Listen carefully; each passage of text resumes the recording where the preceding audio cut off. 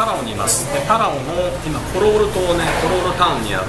あコロールタウンはちょっと外れたところなんですけどねコロール島の中にあるロックアイランドカフェというところにいます。で今、えー前頼んだんですけどね今からこれから食事するためにね頼んだんですけど、まあ、本日平成25年2013年の、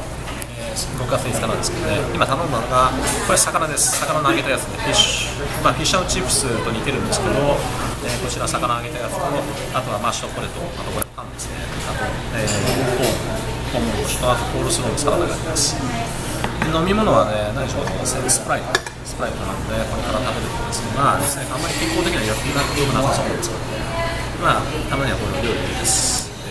で店内の情報なんですね結構人がいますけどね。バーカフェにもなってるんでね結構夜